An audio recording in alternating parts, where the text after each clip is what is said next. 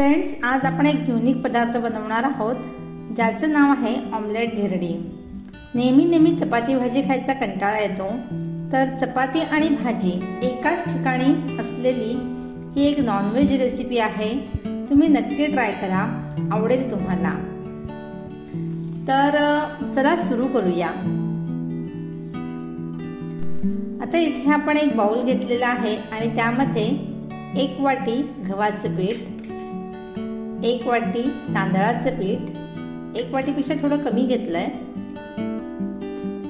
हा कांद्याचा कीस घेतलाय एका कांद्याचा कीस करून घेतलेला आहे.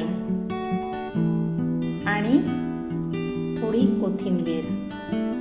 ह्या दोन मिरच्या बारीक चिरून घेतलेल्या आहेत. जर आवडीनुसारच घ्यायच्या आहेत स्किप केल्या तरी चालतात. चवीनुसार मीठ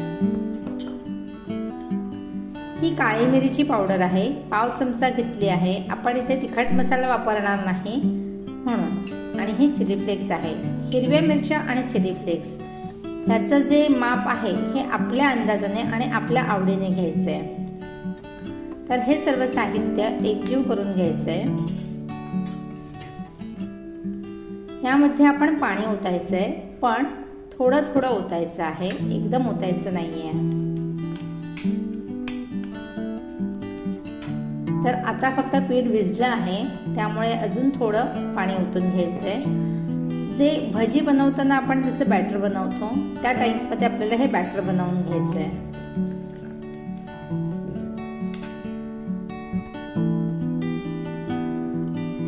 अशा पद्धतीने थोडं थोडं थोडं थोडं पाणी करून ओतायचं आहे. आणि पिठाच्या सर्व गुठळ्या मोडून घ्यायच्या आहेत.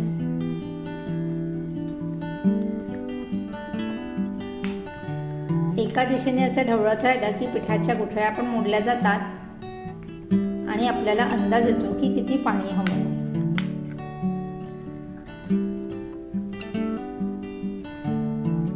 तर अशा पद्धतीने हे बॅटर तयार करून घ्यायचं आहे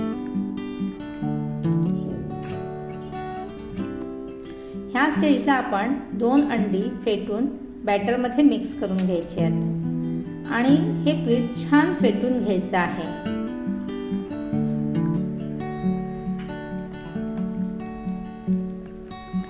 एक दोन ते तीन मिनटं छान फेटून झाल्यानंतर थोडं पाण्याची गरज वाटते. म्हणून पाणी टाकून देऊया.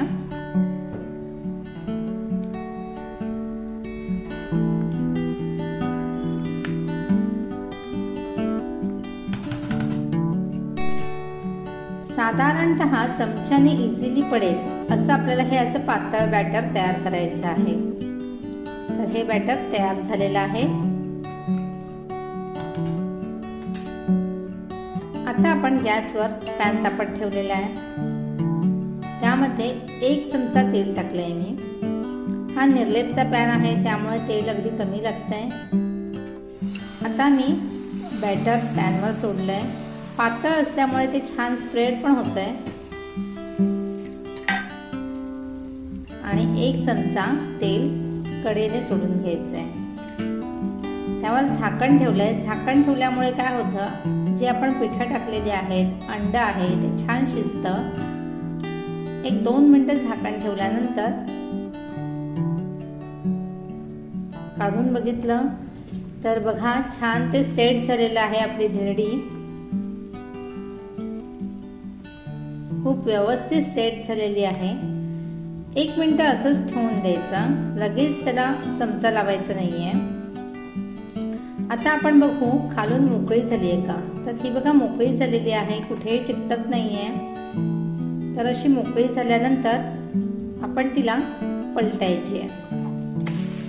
मी आता धिरडी पलटली आहे आणि तुम्ही बघा किती सुंदर रंग आलेला आहे.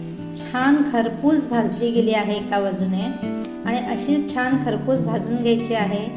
तिला छान होलसुद्धा आलेले आहेत. म्हणजे जाळी आलेली आहे. आणि दुसऱ्या बाजूने सुद्धा एक ते दीड मिनट मिनटं छान ठेवायची. घाई करायची नाही पलटायची.